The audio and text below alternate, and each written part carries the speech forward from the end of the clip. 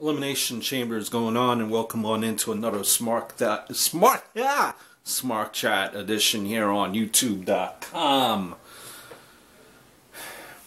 And I, maybe this is a late video. You're expecting a lot from Daniel Bryan. I don't think it's going to happen tonight, but that's okay.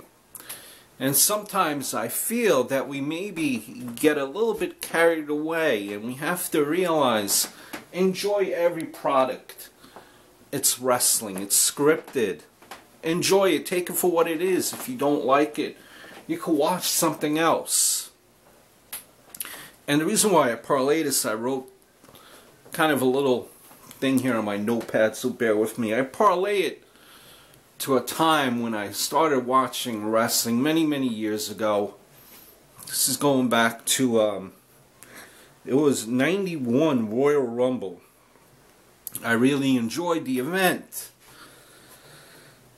But where was Macho King Randy Savage?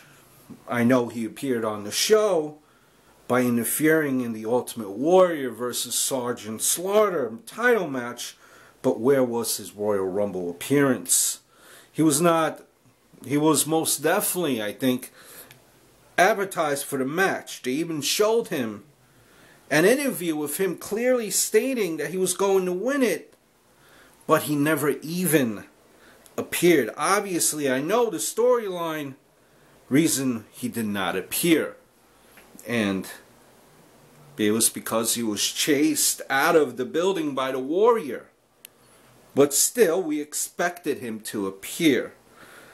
But did we cry about it? Did we call the pay-per-view company to ask for our money back? Did we complain that the WWF did not know what they were doing? No, we didn't. Do you know why? Because back then, in a time that's far, far gone away, there were days without thousands of Facebook pages telling us what's going to happen. Days where 14 year olds didn't know more than Vince McMahon. Man days where 30 year olds who lived with their moms didn't think they could write a better TV show than Bill Watts. We knew what it was. It was professional wrestling, not sports entertainment and we were wrestling fans. We took it for what it was.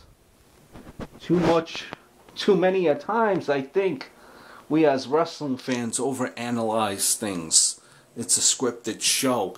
It's men in tights, for goodness sake. So enjoy it, take it for what it is, kick back, relax, watch it, but don't take it so seriously. One wrestler jobbing and jobbing and jobbing, yes, it might suck for you.